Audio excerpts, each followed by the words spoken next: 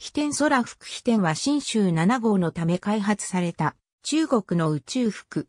2008年9月27日、宇宙飛行士の敵出義が飛天を着用し、中国初の宇宙遊泳を行った。飛天は2004年7月にプロジェクトが正式にスタートし、2008年初頭に実用段階に入った。製造費は約3000万円で、重量は 120kg。本体は白色で、胴体部分は厚さ1.5ミリのアルミニウム合金で作られている。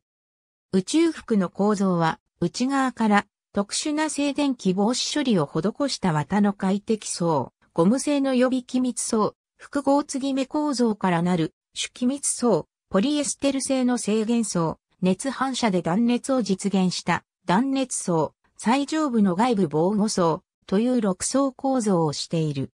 宇宙服の表層の防護材料は、プラスマイナス100度以上の温度変化に耐えられ、宇宙服自体は 120kPa の圧力に耐えられる。また4時間の船外活動に耐える性能を持っている。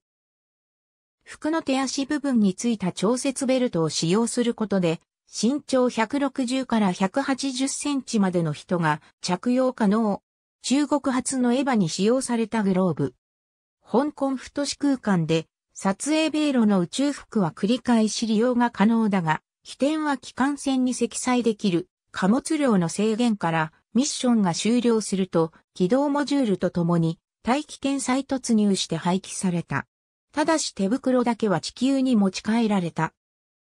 2004年4月に中国はロシアから海高船外服3着、低圧訓練用の船外服2着、水槽訓練用の船外服4着、宇宙船搭載ドッキングシステムを導入する契約を結んでおり、その中の飛行用、低圧訓練用の宇宙服の電力供給と通信などの設備は中国側の協力によって研究、製造された。